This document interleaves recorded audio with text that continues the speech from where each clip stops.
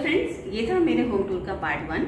next weekend मैं आपको part two के साथ मिलूँगी, जिसमें होगा बच्चों का बेडरूम लिविंग रूम और बहुत ही खूबसूरत सा ओपन टेरेस तो तब तक के लिए बाय